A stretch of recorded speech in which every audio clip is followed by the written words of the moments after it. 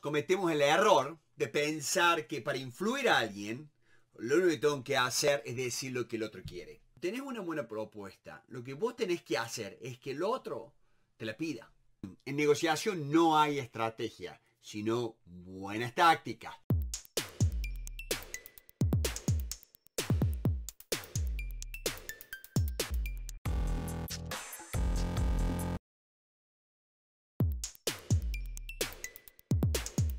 Ahí te voy a dar tres ideas, tres conceptos claves para lograr esto, para poder comunicarte de esta forma, porque por ahí pensamos, lo único que tengo que hacer es tener una muy buena propuesta. No, primero, lo primero que hay que hacer siempre es ser amable. Presentate bien, presentate sonriendo, ser genuino siempre, pero presentate bien ante la negociación. La, amabilidad en todo, en, en cuanto se abre la puerta, en cuanto se sientan, en cuanto te levantas. Todos esos detalles van a contar al momento de cerrar. Entonces el primer punto número uno siempre trabaja en una forma amable. El segundo punto que quiero dar es, debemos trabajar en esa forma amable, pero debemos investigar durante la primera parte de la reunión. Y en mi libro yo lo explico, lo explico muy bien que la contraparte es la persona más importante en la mesa.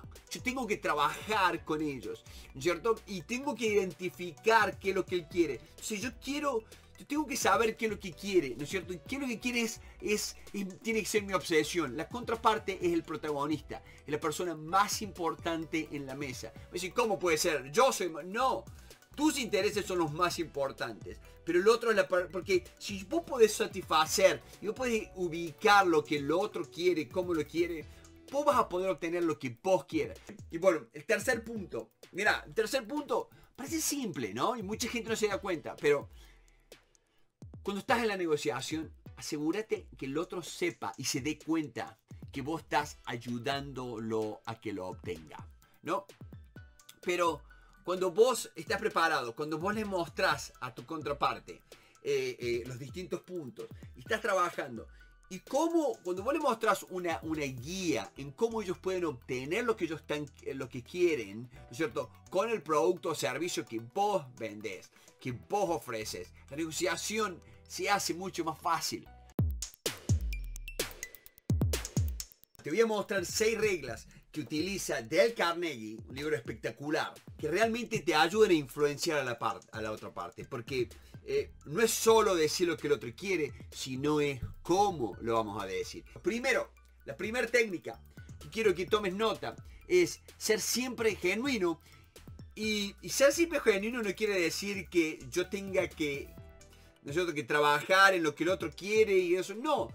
Sé genuino en lo que vos, como vos lo ves, como vos lo pensás pero siempre sé genuino. Y lo dice muy bien Dale Carnegie. Es una de las mejores cosas que podemos aprender. Ser, ser honesto, ser genuino en lo que yo estoy haciendo y cómo lo estoy trabajando. No te olvides. Eso. El segundo punto, te va a reír, pero sonreír. La gente que tiene, la gente que sonríe, que genera esa, esa energía, contagia, ¿o no? Si yo estoy sonriendo ahora, ¿no te dan ganas de sonreír? Eh, pongamos a la contraparte en un, en un punto positivo. Ayudemos a la, contraparte a que esté positiva, que sonríe, que se relaje. Una buena sonrisa este, significa, che, hablemos de este tema que me preocupa. Tercero, tercero que nos dice Del Carnegie es el nombre. Te a la gente por el nombre. Siempre, siempre maneja eso. El nombre. Preguntar, decir, ¿cómo es tu nombre? No te escuché. Eh, eh, estate tranquilo en eso es, una, pregunta. ¿Por qué? Porque el, nombre de cada uno es, el sonido más dulce que tenemos. ¿Por qué? Porque nos encanta escucharlo. Este, lo escuchemos siempre, lo hemos escuchado siempre y estamos acostumbrados. Así que esforzate por eso, por el nombre. El cuarto punto que quería comentar con ustedes de este libro es escuchar. Cuando uno escucha, la otra persona se siente comprendida, se siente, eh, se siente que vos estás interesado en ella, se siente eh, en conexión. Entonces busca esa conexión. Por eso escuchamos. Escuchemos para ayudar, para comprender, para, ver cómo yo puedo obtener lo que el otro quiere.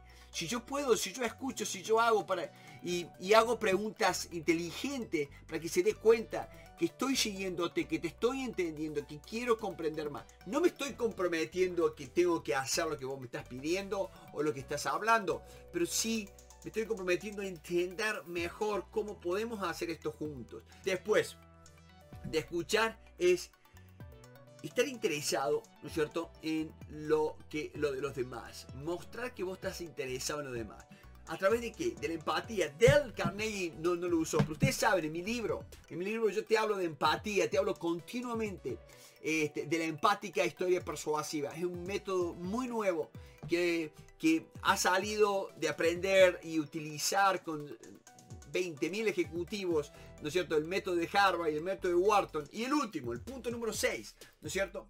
Es este, hacer sentir a la otra persona importante, no solo diciéndole el nombre, porque eso sabemos que, que, la, que la ayuda, pero hacerle sentir importante, eh, elogios, cuando tenga la posibilidad de dar un elogio, genuino, sincero, ¿no? Un elogio. Cuando tenga la posibilidad de trabajar, cuando tenga la posibilidad de, de ordenar algo en donde el otro se va a sentir bien, no dudes en hacerlo y hay que hacerlo y hay que llevarlo adelante. ¿no? Así te demores unos minutos. Hay mucha gente acá en Estados Unidos, cuando estamos negociando con Europa, que bueno, que el tiempo es, es, muy importante. los ejecutivos son tipos este, carísimos de alto salario, pero se toman el tiempo de conectar. Si, si vos crees que el, que el tiempo de establecer una buena relación con la contraparte no lo vale, estás equivocado. Siempre vale esos minutos extras de entender, comprender y hacerle sentir importante en lo que está aportando, lo que esto, el otro, y por qué el acuerdo es valen oro. ¿Por qué? Porque vos sabes estas seis reglas, estas seis reglas que nos dio Del Carnegie. Y te voy a dar cinco tácticas fundamentales para influenciar, para persuadir y para hacer que tu contraparte se acerque y te entienda. No muevas nunca tu contraparte de acá, de acá, allá. No, muévelo de acá, acá, acá, acá. Lo vas moviendo de a poco para lograr mejores resultados. El punto número uno, no discutas. La mejor forma de ganar una discusión es no tenerla. Acordate de eso. Entonces no entres en discusiones. Escucha, toma nota. Escucha, utiliza empatía para comprender lo que el otro dice. Escucha, trabaja y no entra en la discusión. Trata de eh, elogiar los puntos buenos, las otras cosas y tratar de moverte de ahí. Cuando estamos equivocados lo vamos a admitir, vamos a saltar, vamos a decirlo inmediatamente. Vamos a ayudar a la otra parte a, darle y vamos a trabajar y vamos a pagar lo que haya que pagar por el error. Vamos a estar dispuestos a eso y ordenarnos para qué, para que la contraparte vea la, la, honestidad, la sinceridad y el trabajo que queremos hacer con ellos. Eso te va a ayudar muchísimo. Para esto, la preparación es clave. Siempre tienes que estar preparado. ¿No es cierto? Para no discutir, ¿no es cierto? Para, para no equivocarte. Tienes que ir preparado. Pero cuando uno, se cuando uno se equivoca y estando preparado, vos vas a poder movilizar esos ejes. ¿Qué te recomiendo? Baja la hoja con las 10 preguntas. Pero hacelo porque eso te va a ayudar a conocerte a vos mismo y vas a lograr confianza en vos mismo. Que es más importante que lograr la confianza del otro.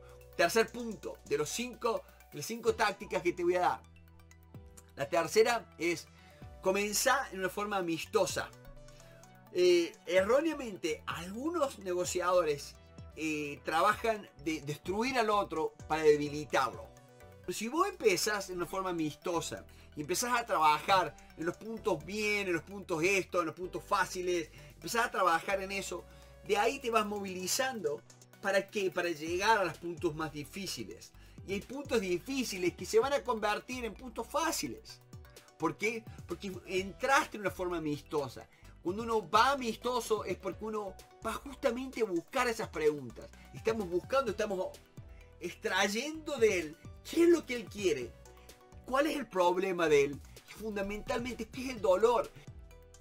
El cuarto punto que quiero darles es, te, doy, te digo, Deja que el otro hable.